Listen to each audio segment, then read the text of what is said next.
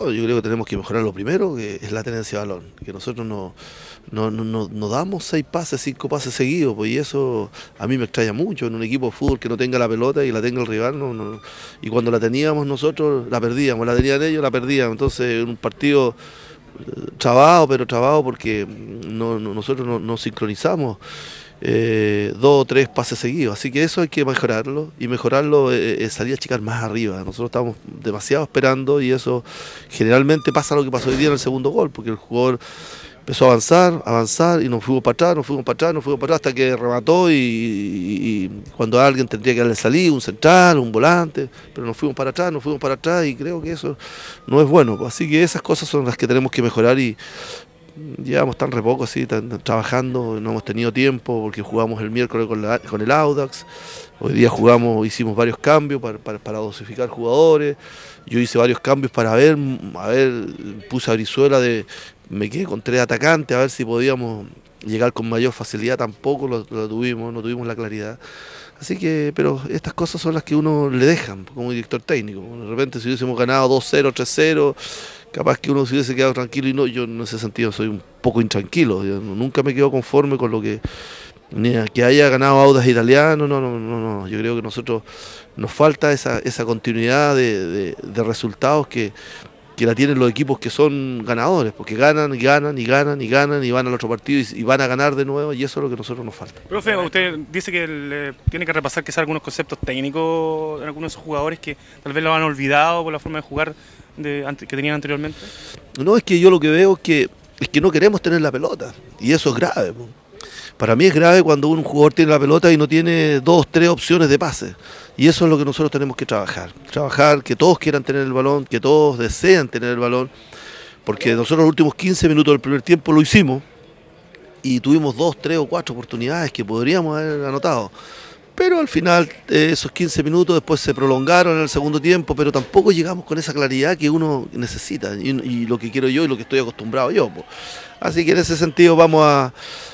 Este campeonato empiezan, empezamos todo de nuevo y así que hay que, hay que ponerse las pilas. Todo, hoy día tuvimos jugadores que estuvieron lejos del rendimiento que tuvieron el otro día contra, contra Audax Italiano hubieron jugadores que no estuvieron a la altura de del partido que jugamos nosotros el miércoles, y siendo que jugamos con un equipo mucho mejor y más, más, eh, más que Antofagasta, porque Audio Italiano no tiene, no tiene comparación con Antofagasta, pero la, actitud, las ganas a lo mejor fueron diferentes. Muchas gracias por que esté muy bien. Ya, pues hasta luego.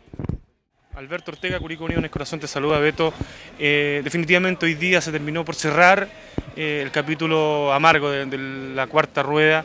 Definitivamente Curicó queda sin nada, cero puntos para entrar a la liguilla. ¿Cómo estás, Beto? Buenas tardes. Bueno, eh, sí, el objetivo era clasificar, era ganar para poder ir con ese punto, pero más que nada también este, mejorar lo futbolístico, creo que se mejoró mucho, se mejoró, faltó, la, eh, faltó el gol, faltó definir mejor, eh, pero eso se va a trabajar, el cuerpo técnico lo va a trabajar, lo va a hablar mucho, lo va a trabajar y, tenemos que estar tranquilos ahora de que empieza eh, lo que estamos esperando. Así que en ese sentido estamos tranquilos y tenemos que mejorar la finiquitación y tenemos que, que meterle el pecho nomás. Correcto, ustedes tuvieron 10 ocasiones por ahí de gol, todas se les fueron fuera, Beto. ¿Cómo se mejora eso el finiquito? Porque en la semana puedes rematar al arco todo el rato y llega el día del partido y las tiras afuera igual. Y tenemos que mejorar en, el trabajo y lo mental. Tenemos que tener más mente asesina de la que tenemos en el sentido de cuando uno llega a definir, más concentración, más trabajo. Eh, y bueno, de esa, de esa forma tengo confianza de que va a llegar la pelota dentro del arco. Muchas gracias. Beto. Gracias a ustedes. Eduardo Pinto, Curicó Unido en el Corazón, te saluda Eduardo.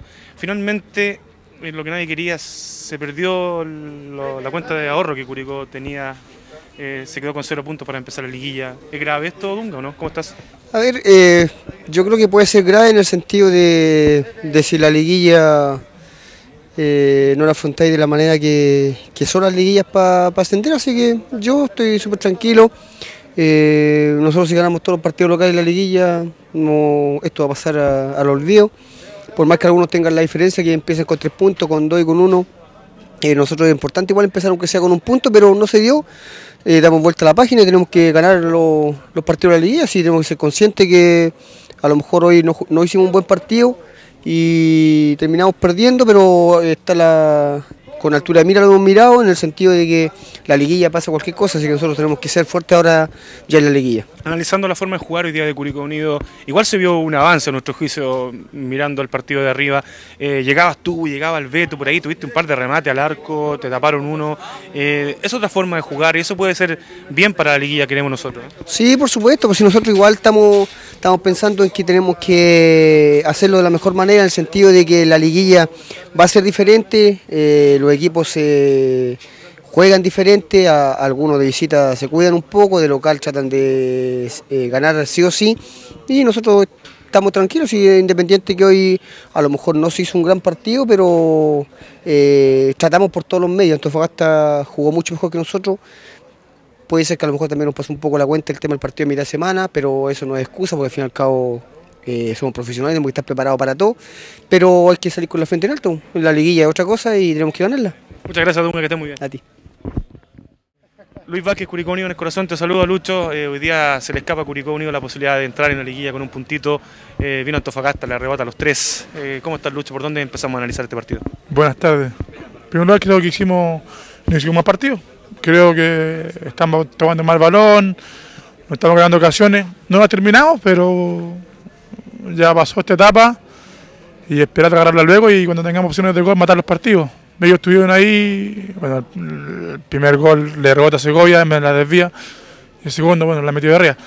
Pero más allá creo que estábamos haciendo un buen partido, lo teníamos controlado, no teníamos problemas, teníamos ocasiones de gol nosotros más claras que ellos. Como te dije, no la hicimos, pero bueno, ya, ya pasó y ahora hay que pensar en la verdad, por lo que es lo que viene, que no podemos dar ninguna chance más para, para empezar con, con el pie derecho en la liguilla final. La cancha mojada hoy día, producto de la lluvia, puede ser un augurio de lo que se van a encontrar en las canchas del sur. Ahí está Puerto Montt, ahí está Concepción, ahí está Temuco también hay que ir. Eh, ¿Cómo enfrenta Curicó Unido esta etapa más importante del año? Yo creo que va a ser difícil, porque aquí esto, como te dije antes, esto es de verdad. Ahora, se viene puntos que perdí, se van a complicar mucho después para, para pelear algo. Así que van a ser 14 finales que tenemos que empezar a ganarla ya la próxima semana para sumarle a tres y, y, si logramos ganar vamos a estar metidos arriba dentro de los primeros lugares, así que vamos a tener que hacernos muy, muy firmes y no, no cometer ningún error. Muchas gracias Lucho, esté bien. ¿eh? No, gracias a ti. Gracias Vázquez. Braulio Brizola, Curicó Unido, corazón te saluda Braulio. Hoy día no se pudo repetir en parte la gran actuación frente a Audax Italiano y Antofagasta les robó los tres puntos al final del partido casi. ¿Cómo analizas el juego de hoy, Braulio? ¿Cómo estás? Buenas tardes. Eh, eh, nosotros tuvimos muchas ocasiones de gol, eh, no lo convertimos y en el fútbol se da mucho eso. Eh. después el otro equipo es poco lo que llega, pero cuando llegan lo hace gol y eso fue lo que sucedió acá. Como te decía antes, si nosotros ya ahora empieza la se parece que jugamos el viernes, si nosotros no estamos aplicados, no muy tempranamente la competencia. Hoy día em, eh, no se pudo en Antofagasta, un equipo muy conocido ya porque juegan hartos partidos por el Grupo Norte. Entran en juego ahora los del Grupo Sur, se parte con Puerto Montt. ¿Cómo está preparado Curicó Unido para enfrentar a los equipos del Sur? ¿Qué saben de ellos?